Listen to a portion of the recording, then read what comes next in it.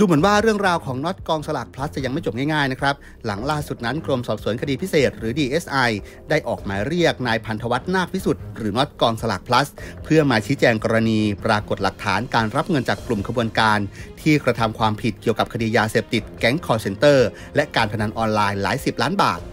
โดยเรื่องนี้นะครับนายพงศธรอินอำนวย ผู้อำนวยการศูนย์คดียาเสพติดเปิดเผยว่า ได้ออกหมายเรียกน็อตกองสลากพลัส ให้มาให้ถ้อยคำในฐานะพยาน วันที่ 13 มกราคมนี้นะครับเวลา 10 โมง ซึ่งได้ส่งหมายเรียกไปตั้งแต่วันที่ 4 มกราคมที่ผ่านมาแล้วนะครับ โดยได้ให้กรอบระยะเวลาในการเตรียมตัว พื่อมาให้ข้อมูลกับเจ้าหน้าที่ และจะยังไม่มีการแจ้งข้อกล่าวหา จนกว่าจะมีการชี้แจงรายละเอียดกับพนักงานสอบสวนแล้วเสร็จ ซึ่งก็จะให้ความเป็นธรรม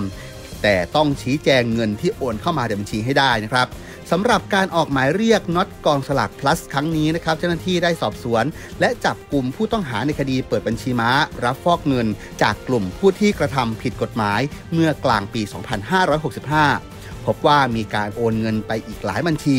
หนึ่งในนั้นพบว่ามีบัญชีของน็อตกองสลากพลัสโอนเข้ามาหลายสิบล้านบาท ซึ่งเจ้าหน้าที่เชื่อว่าไม่ใช่เงินที่โอนมาซื้อสินค้า หรือสลากกินแบ่งรัฐบาล จึงจำเป็นต้องออกหมายเรียก ให้มาให้ถ้อยคำกับพนักงานสอบสวนครับสำหรับผู้ที่มีความเชื่อมโยงเส้นทางการเงินกับกระบวนการนี้นะครับ ถูกออกหมายเรียก พร้อมกับน็อตกองสลากพลัสรวม 7 คน โดยยืนยันว่าเป็นการสอบสวนปกติที่พบหลักฐานเส้นทางการเงินเชื่อมโยงไปถึง ไม่ได้ตั้งใจพุ่งเป้าไปเฉพาะที่น็อตกองสลากพลัสเท่านั้นครับขณะเดียวกันมีข้อมูลจากคณะทำงานศูนย์คดียาเสพติดเพิ่มเติมด้วยว่ากระบวนการฟอกเงินดังกล่าว พบว่าเส้นทางการเงินของกระบวนการนี้ ได้เชื่อมโยงมายังน็อตกองสลากพลัสกว่า 42 ล้านบาท นอกจากนั้นนะครับยังมีกลุ่มอื่นที่มีลักษณะรับการโอนเงินคล้ายกันอยู่ระหว่างการขยายผลครับ นอกจากนี้นะครับผู้อำนวยการศูนย์คดียาเสพติดยังกล่าวต่อด้วยว่า คณะทำงานศูนย์คดียาเสพติดมั่นใจในพยานหลักฐานที่ได้สืบสวนสอบสวนขยายผลมา จนพบว่าบุคคลดังกล่าวมีความเกี่ยวข้องแบบไม่ปกติ หลังจากนี้นะครับพนักงานสอบสวนคดีพิเศษ ยังต้องสืบสวนขยายผลเพิ่มเติม ว่ามีการโอนเงินออกจากบัญชีออมทรัพย์ของบุคคลดังกล่าว เชื่อมโยงไปถึงบุคคลอื่น ๆ อีกหรือไม่ เบื้องต้นนะครับยังพบว่ามีเงินจากบัญชีเข้าสู่บัญชีของบุคคลสำคัญรายหนึ่งที่มีชื่อเสียง และเป็นที่รู้จักของคนในสังคมด้วยนะครับ ล่าสุดวันที่ 5 มกราคมที่ผ่านมานะครับทางกองสลากได้ให้ข้อมูล เพิ่มเติมผ่านทางคมชัดลึกออนไลน์ว่าจนถึงขณะนี้ ทางกองสลาก plus ยังไม่ได้รับจดหมายหรือหมายเรียกจากกรมสอบสวนคดีพิเศษ หรือ DSI นะครับซึ่งหากได้รับจดหมายเมื่อไหร่ก็พร้อมที่จะเข้าชี้แจง ด้านน็อตกองสลาก plus นะครับก็ได้ออกมาโพสต์ข้อความผ่าน Facebook ว่า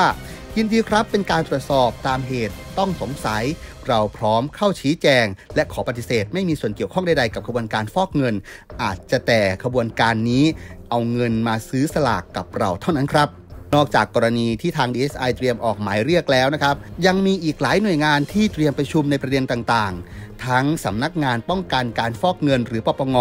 ก็จะหารือในประเด็นที่ว่าด้วยเรื่องการฟอกเงินสำนักงานคณะกรรมการคุ้มครองผู้บริโภค หรือสคบก็จะประชุมในประเด็นที่เกี่ยวกับการโฆษณาชวนเชื่อ นอกจากนี้นะครับยังมีประเด็นเกี่ยวกับการละเมิดลิขสิทธิ์รวมทั้งตำรวจและอายการ เพื่อพิจารณาฐานความผิด ให้ครอบคลุมทุกประเด็นด้วยนะครับสำหรับการเข้าพบ DSI ตามขั้นตอนในวันที่ 13 มกราคมนี้นะครับเมื่อน็อตกองสลาก plus ได้เข้ามาพบพนักงานสอบสวน พนักงานสอบสวนก็จะแจ้งวัตถุประสงค์การออกหมายเรียก อธิบายถึงข้อเท็จจริงตามพยานหลักฐานที่รวบรวมได้นะครับและขอให้ชี้แจงว่าเงินจำนวนดังกล่าว เป็นของลูกค้ากลุ่มใด เพราะตามหลักฐานการทำธุรกิจแล้ว ผู้บริหารจะต้องรู้จักกลุ่มผู้บริโภคของตัวเอง เพื่อให้กลับไปรวบรวมเอกสาร ทั้งรายการเดินบัญชีออมทรัพย์ย้อนหลัง หรือเอกสารสำคัญต่างๆ เพื่อนำเข้ามามอบให้พนักงานสอบสวน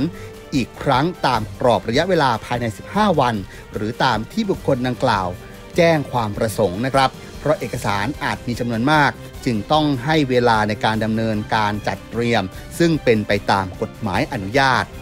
แต่ทั้งหมดนี้นะครับก็คือความคืบหน้าเกี่ยวกับน็อตกองสลาก plus ที่ดูเหมือนว่าในช่วงนี้นะครับจะดูว่าพระสุขเข้าพระเสาวแทรกเหลือเกิน สวนทางกับธุรกิจของเขาที่มีการเติบโตอย่างต่อเนื่องอยู่ในขณะนี้ครับ